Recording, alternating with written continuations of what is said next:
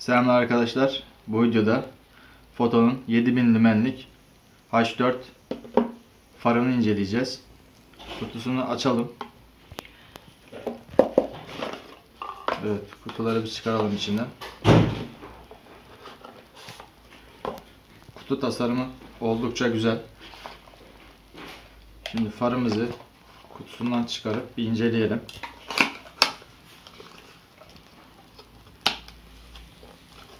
Evet. İçinden sabitleme aparatı ve ledimiz çıkıyor. Ledimizin özellikleri yakınlaşalım lütfen. Ledimizin özellikleri uzun ve kısa fara sahip. 7000 lümen gücündedir. Yanlış bilmiyorsam bir tanesi 3500, diğeri de 3500 olmak üzere toplam 7000 lümen güce sahiptir. H4 soketine sahiptir. Bu soket sayesinde eski tip bu sarı ampullerin olduğu araçlara uyumludur.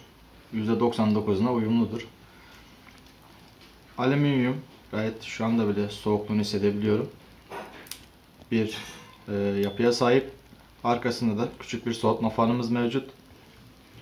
Ürünümüz gerçekten güzel, kaliteli hissettiriyor. Ee, yanlış bilmiyorsam da 2023 senesinde üretilmiş. Gayet kaliteli bir far. Bunun deneme videosunu arkadaşlar araca taktıktan sonra kısa video olarak yine normal video olarak paylaşacağım. Ürünümüzün arkadaşlar e, fabrikasyon 1 yıl garantisi var. Öyle söyleniyor. 1 yıl garantili bir ürün. 35 watt gücüne sahip bir ürün. Ve 12 ya da 24 volt olarak kullanılabiliyor. Tanıtımımız bu kadardır arkadaşlar. İzlediğiniz için teşekkür ederim. Başka videolarda görüşmek üzere. Hoşçakalın.